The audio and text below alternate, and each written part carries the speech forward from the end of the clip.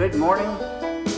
It's May 1, 2021, and it's a Saturday.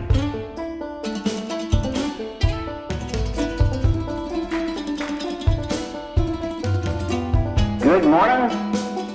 It's May 1, 2021, and it's a Saturday.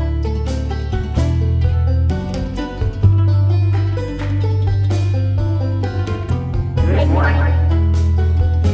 May 1, 2021.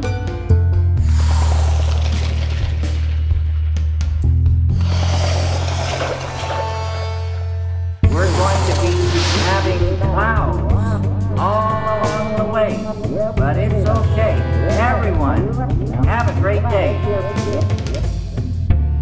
You know, happiness is for me a very conformist category.